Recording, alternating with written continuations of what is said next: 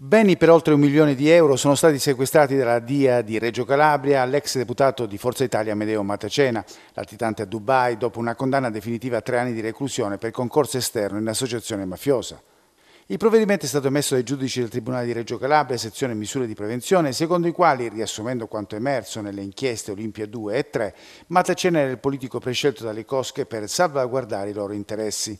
Matacena è coinvolto nell'inchiesta Breakfast, nell'ambito del quale sono stati arrestati tra gli altri l'ex ministro dell'interno Claudio Scagliola e la moglie di Matacena, Chiara Rizzo.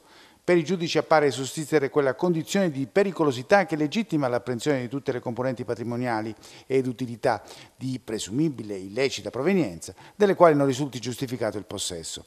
Sequestrate disponibilità bancarie e finanziarie riconducibili a Matacena, alla moglie e ai figli e un fabbricato intestato ad una società con sede a Miami.